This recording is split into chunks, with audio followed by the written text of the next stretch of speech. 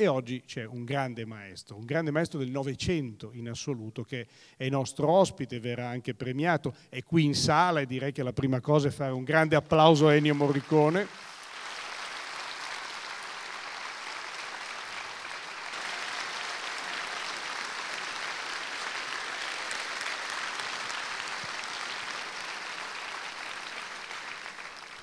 In una serata titolata Grazie Ennio e dedicata alla sua musica.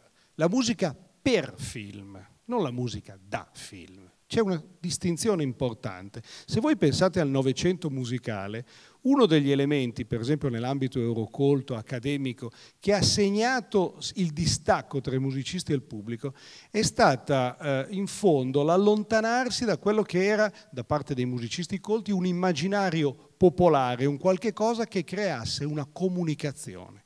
La musica per film invece entra nell'immaginario collettivo in una maniera singolare. È grande musica di per sé quando non è appunto una semplice sonorizzazione, ma sposandosi alle immagini trova un nuovo terreno collettivo di comunicazione.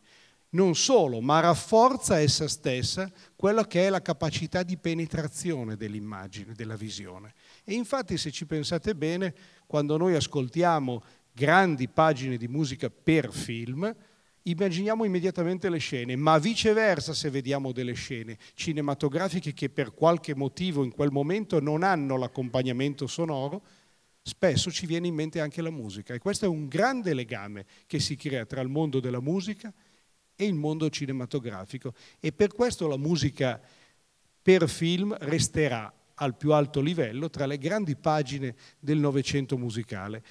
E allora se i jazzisti delle epoche passate, americani e non solo americani hanno saputo cogliere dagli autori dell'epoca delle grandi pagine che hanno portato nel loro repertorio, io credo che i jazzisti di oggi abbiano, per esempio nelle pagine di Ennio Morricone, tanto materiale con cui costruire la musica di oggi. Buon ascolto.